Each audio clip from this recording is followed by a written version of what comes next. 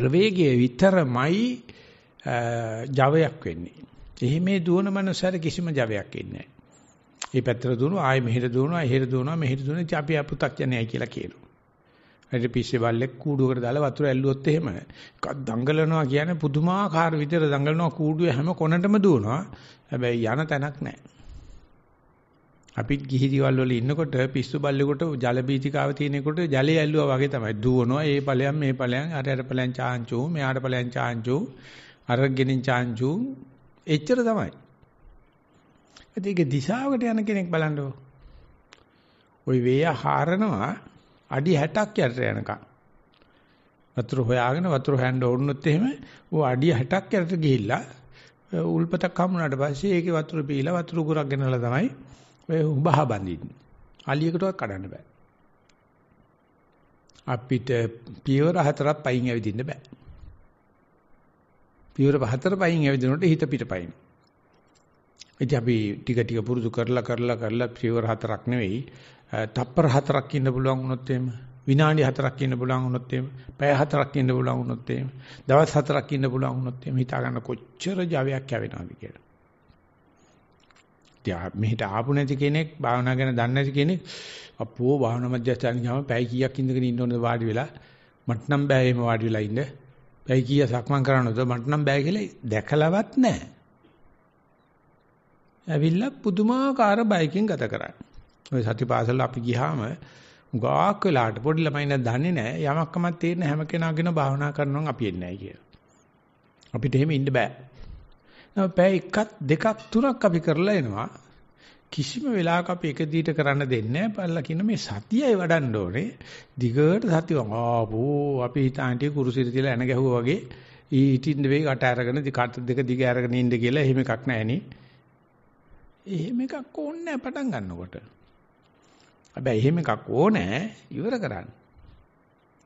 එක දිශාවට ගිහලා ඒක දිගේම යන්න ඕන.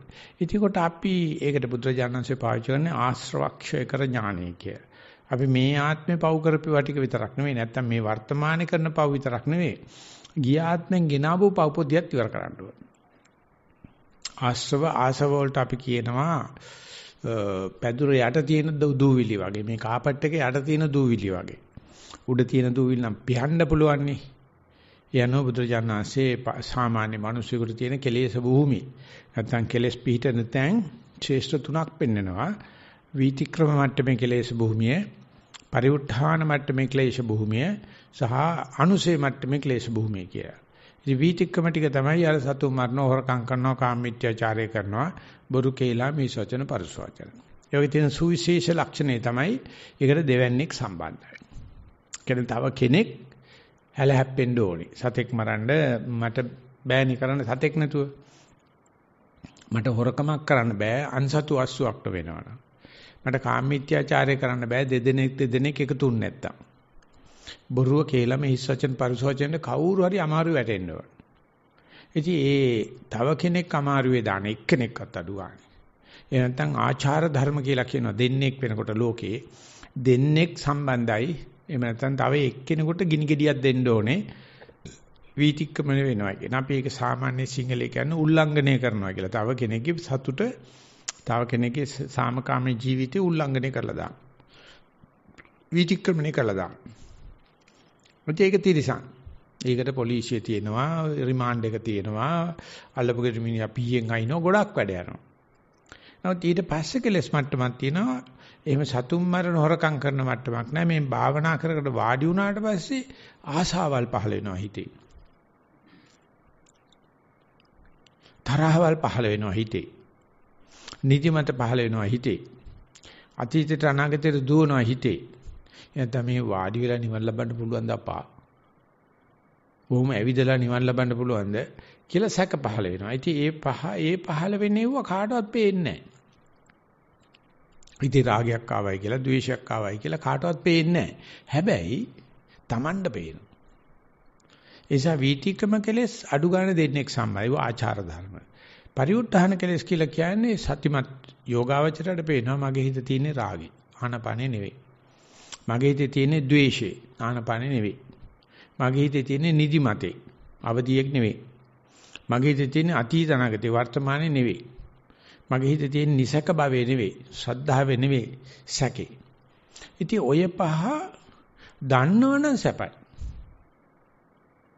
භාවනා නොකරන කෙනාට එහෙම දන්නේවත් නැහැ. මේ නීවරණ කියලා જાතියක් තියෙනවා, මෙහෙම පරිඋත්ථාන කියලා කෙලෙස් જાතියක් තියෙනවා, අදාළ නැහැ. ඒ පරිඋත්ථාන කෙලෙස් අදාළ වෙන්නේ භාවනා ලෝකෙට විතරයි. භාවනා ලෝකෙත් ඔක්කොම නොදන්නව නම් සැපයි කියන තරම් කරුමක්කාරයි අපේ මේ ඉගැන්වීමේ ක්‍රමය. පුදුරස් කියන්නේ අපිට තියෙන ලෙඩේ මේ වෙලාවේ තියෙන රාගෙන රාගේ දන්නේ කොහොඳයි. නොදැන්නේ ඉන්නවට වැඩිය. මොකද නොදැනීම තමයි ලොකුම අකුසලේ. අඩු ගන්න මට දැන් මේ වෙලාවේ භාවනා කරනකොට තියෙන්නේ තරහ. මට දැන් මේ වෙලාවේ තියෙන්නේ ආසාව. මට දැන් මේ වෙලාවේ තියෙන්නේ නිදිමත. මට දැන් මගේ හිත තියෙන්නේ ඉස්සර වෙච්ච එකක් ගැන හිතේ හිතා. නැත්නම් ඉස්සරහට කරන්න තියෙන දෙයක් හිතේ හිතා. එහෙනම් මට සැකයක් තියෙනවා මෙහෙම භාවනා කරලා හරියයිද? මං වගේ කාල කන්නින්ට නිවන් දකින්න පුළුවන්ද?